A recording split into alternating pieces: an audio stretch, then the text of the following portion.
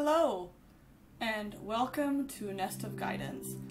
I have a little bit more of a different video planned for today, which is a general weekly flow reading from Monday the 20th of June to the 26th of June, which is the following Sunday.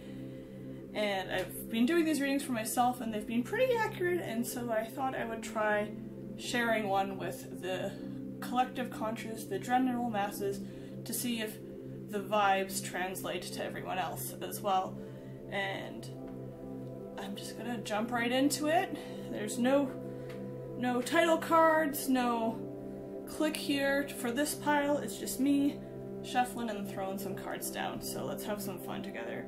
I like to start these readings by by going into self-care right away because if we know how to care for ourselves or what's the best type of self-care for us for the week or the energies that flow ahead, then we can sometimes manage them better, whatever they end up being. So when I do this for myself and for um, my own clients, I'll shuffle with my eyes closed. You might see my eyelids fluttering. They tend to flutter when I am concentrating with my eyes closed, but I'm just going to close my eyes and shuffle this to think about the best self-care for this week ahead from Monday the 20th until Sunday the 26th of June. Here we go!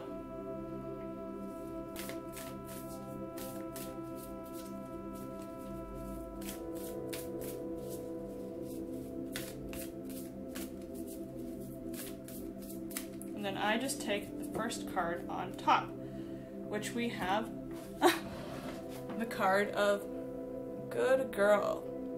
No more. This is the self care card of power.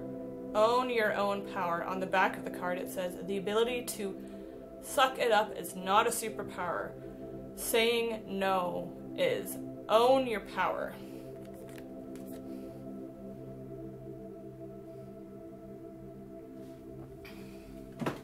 So, with this, I feel like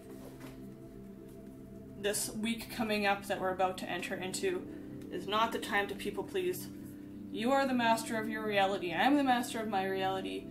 You get to choose what you say yes to and what you say no to and what you allow into your field and what you can put up boundaries for. And boundaries are healthy in a lot of situations. So just know that you are in your full right to control your power, be in charge of your power, and let it flow wherever you want it to and let it stay within and remain close to you when you need to. So that is a very helpful card to start with for this week ahead. Alright, and from there, I like to go into this other deck to see what surrounding energies might be happening for us today. So, let me just shuffle this. I don't need to shuffle it with my eyes closed because it's not double-sided. And, whoop. Okay, that's our card. It's hanging out on the floor right now. Okay, woo, stand still.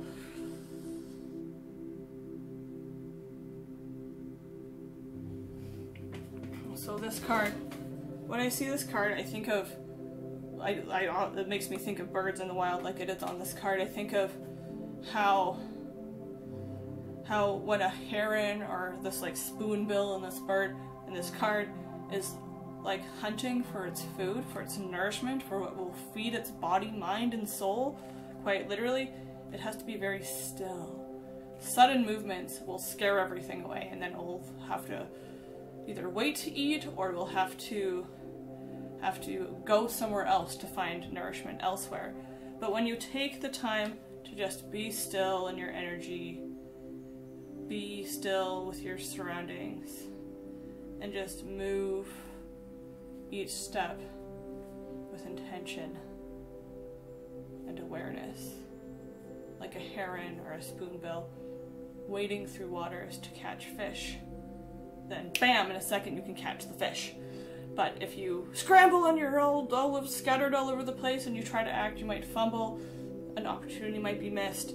So know that you you have all this power residing within you and this is not the time to people please.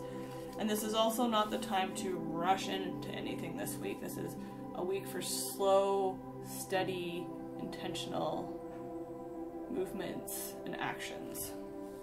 And when I know those two, I like to just pull four, four cards from this uh, tarot deck, the one I use mostly, to see what the general flow through the days might be and what might come up for us or for myself, for you during that time.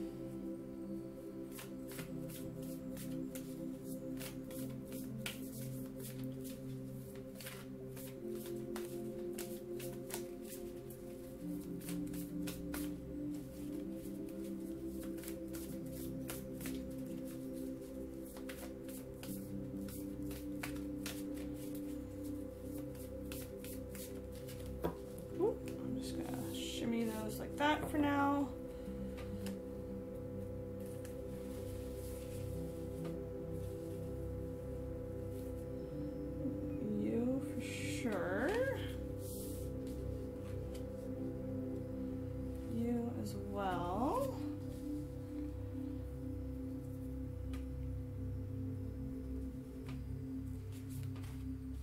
I also think this is kind of fun because we just hang out pull some cards for everyone all together. You can kind of see how I pull cards now as well.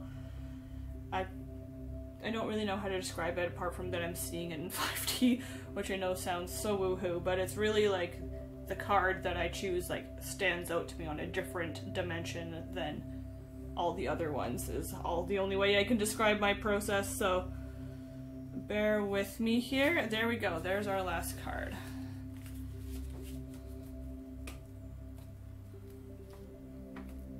Okay.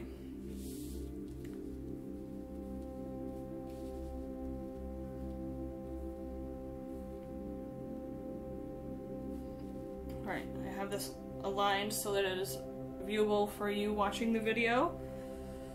And we start with, ooh, the Two of Pentacles.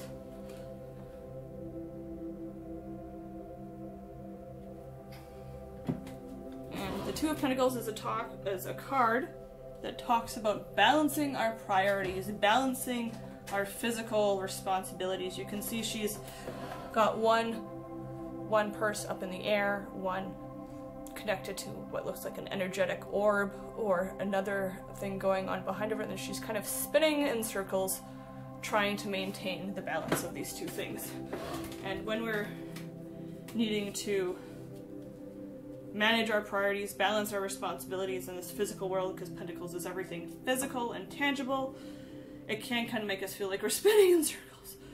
But the, the visual I always see when I see this card is, first of all, you know when you watch like a, like a professional uh, ballerina or dancer, and as they're spinning, their head's not spinning with their body, that stops the dizziness from happening. The way they, just like, you can even Google like professional dancer and just watch as they spin as they're dancing and watch their their as their head moves. It their head almost moves before or after. I can't really discern myself not a dancer. Um, doesn't move in time and with their body as their body moves it moves at a different time and that stops them from getting disoriented and feeling dizzy. And she's also got her eyes closed in this card. So if balancing your physical responsibilities, tasks, is making you feel kind of disoriented and dizzy, then going within, where the waters are always still in your heart, can help you feel at peace as you're balancing those energies this coming week. And also, she's, I'm just, I saw the standstill card, and she's standing quite still as she is balancing these energies. So that definitely ties into the standstill card of no fast moving. And they almost look like they could be like of the same family. Like her orange dress reminds me of the the orange feathers plumage on that bird. Okay. Card number two. Ooh, the Eight of Pentacles.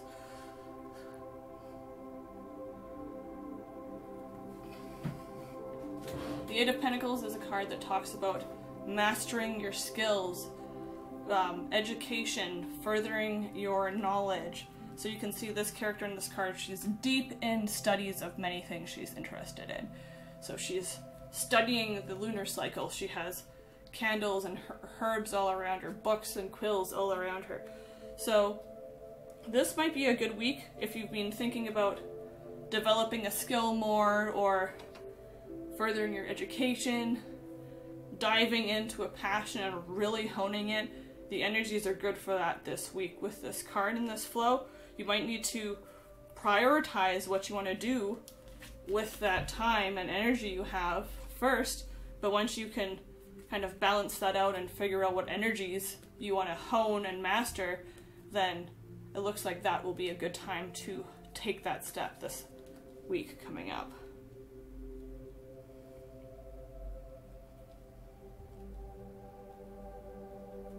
All right.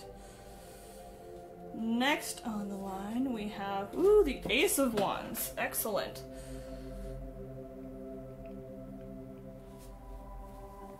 And the Ace of Wands is a card that talks about new beginnings. So this is new passions, new ambitions, new jobs, new careers, new daily routines, new tasks, new responsibilities.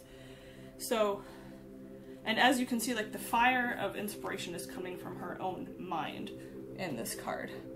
So what this means is that it's all in your own temple already. So if you can envision it with the flame in her third eye, if you can envision this new beginning of your passions, new beginning of your ambitions, new beginning for a career, new beginning for a for a a uh, like a, a project that you're working on, then it is possible because that's what this card means is that this is a card of new beginnings, brilliant ideas, manifestations coming to life, new passions, new ambitions, new inspiration. So I feel like that's the flow of this so far. It's like make up your mind, balance your priorities with the Two of Pentacles, really dive into what's important to you with your education, with your skills, your hobbies, your passions, your ambitions, what you really want to hone and master and get a hold of for that type of um, energy. And then once you you've really dove in with that education and really gotten your hands into it to know it more, know it fully, then you'll have this clear idea with that flame in her mind to take you to the next step through this energy these energies this week.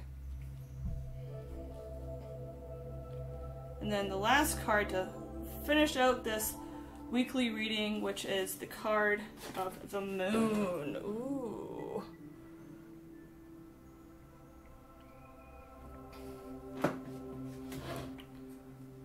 And the moon talks about our intuition, the deeper things in life, our deep emotions, psychic abilities. It's also a little bit of things might feel a little unknown. This is a card that takes place the darkest time of night before the sun rises. So, in the dark, when things feel unknown, it is also best to not rush ahead of things and not give in too much because you don't know what lies ahead yet. So, take it slow, go within, trust your own inner guidance, trust your intuition, trust your instincts to guide you onward through these energies and through to the next week. She's also, even though she's deep within the water, she's not panicked about it and she knows she's still connected to her intuition. You can see this line of energy from her hand going up towards the full moon, and the moon is full, which means something might also be coming to an end, a completion, or a manifestation of yours might be coming into fruition, coming into your physical reality, which is also amazing and also lends to the Ace of Wands, which is all about new beginnings for passions, ambitions. Excellent. Cool, cool, cool. Can I find anything else that I want to bring up into this reading? I don't know why this stood out to me, and I don't know what it means yet. Um, but I'm just gonna say it because it's literally like what came to mind when I looked at this card again. If this means anything for any of you, please let me know because It's just a message that came up that I feel like I need to share and it might resonate with one of you. But those yellow things in her hair kind of look like bumblebees to me. Um, they're such precious little creatures and they're so helpful to the environment and the world. And I guess the only thing I have to say about that before I end this quick little video for this week ahead reading from June 20th to June 26th is know that you are precious, know that you are helping the world with what you are doing, with who you are being, the connections you are making, and that you have the power within you to make all your dreams come true, to explore and expand what you want to explore, to balance what you need to balance, and to get yourself through those dark, mysterious times when you're not sure what lies in front of you. And when you can stand still within your own power, within your own energy, then you'll be set for anything this world throws at you. That is my little quick energy update for this coming week from Monday, June 20th to Sunday, June 26th. I hope you liked this video, this new style. Please let me know in the comments how it resonated with you. I'd love to hear your feedback. And I will see you guys in my next video. Thank you so much for tuning in. Hope you have a blessed day. Namaste.